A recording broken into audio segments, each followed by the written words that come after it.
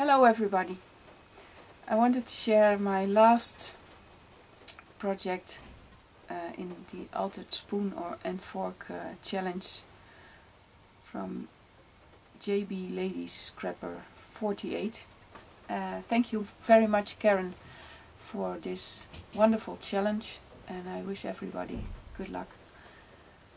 Again I used a wooden spoon because I had uh, several laying around uh, unused. And I, this was the original idea that I had in my head. And um, took me a while to uh, to get it done. Uh, first of all I um, started out with the, the wooden spoon.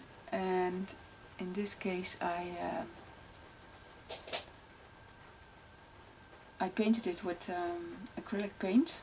Then I put over that some uh, a coat of gesso to make it a, a little uh, text textured.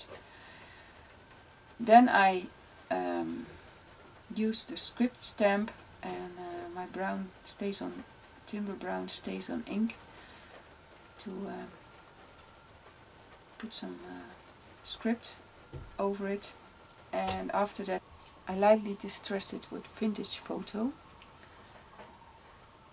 and for the banners I uh, I used uh, a pants from my husband. It was uh, ripped, so uh, I cut uh, banners out of it and frayed the edges. You can see that here. Just with my nail I frayed it. And then I uh, I decided I wanted to, the word live on there. On the first banner the, word, the letter L and on all the letters I put uh, some flatback pearls in champagne color. Um, all around the banner I glued some ribbon and here I made a bow from sheer ribbon. It's a golden uh, color. On top of there there's a, a clay heart uh, that I bought a few years back. Then in between the banners I um, made a bow out of jute rope.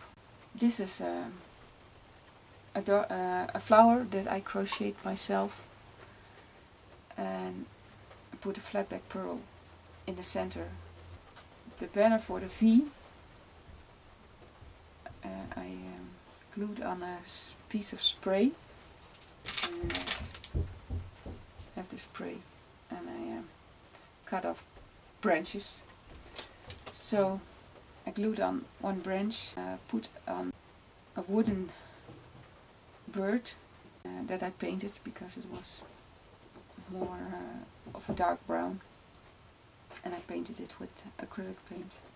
And then on the last one I cut out a heart out of a cardboard box just like I did letters and glued on two buttons and a piece of rickrack ribbon.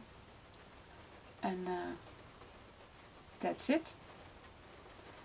And I actually like it so much I'm gonna hang it in my living room. So that's my project. Uh, thank you all for watching. Bye bye.